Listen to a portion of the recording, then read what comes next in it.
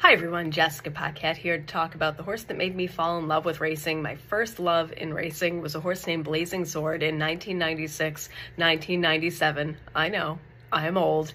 Now, he was owned by a local businessman, Gil Campbell, from Lowell, Massachusetts, where I grew up. So he got a ton of coverage in our local print newspaper. And that was what originally made me feel connected to this horse.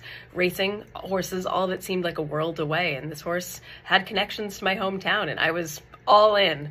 And getting to follow his early career, his three year old season, was a great thrill. Then he got hurt, wound up missing the Kentucky Derby, and I continued to follow him. And for me, I just fell in love with the big heart that this horse had. He overcame quite a few significant injuries, earned a million dollars on the racetrack the old fashioned way, no big major stakes races, kind of a hard knocking, high level allowance, low level stakes horse, a couple of graded stakes along the way.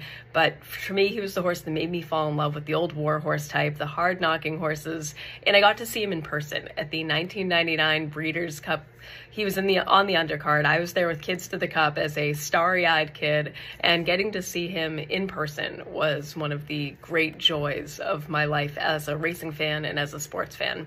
So Blazing Sword, to this day, he's the reason I love an old war horse.